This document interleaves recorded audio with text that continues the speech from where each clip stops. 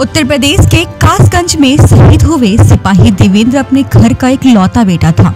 उसके परिवार में किसान पिता महावीर, बहन प्रीति, जिसकी मई में शादी है। पत्नी चंचल दो बेटियाँ हैं।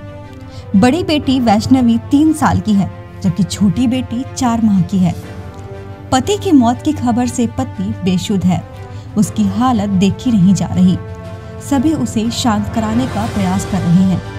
जी हाँ, आपको बता दें सिपाही देवेंद्र की शहीद होने की जानकारी शमशाबाद थाना में रहने वाले सिपाही ने फ़ोन कर परिवार को दी है।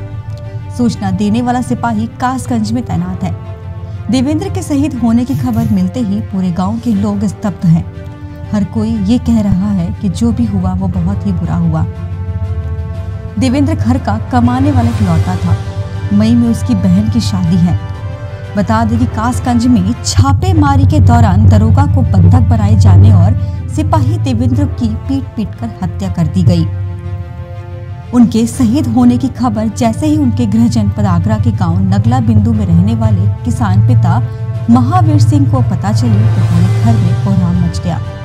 पिता रात में ही रिश्तेदार के साथ कासगंज के लिए रवाना हो गए। सांत्वना देने के लिए ग्रामीणों की भीड़ सिपाही के घर में मौजूद है।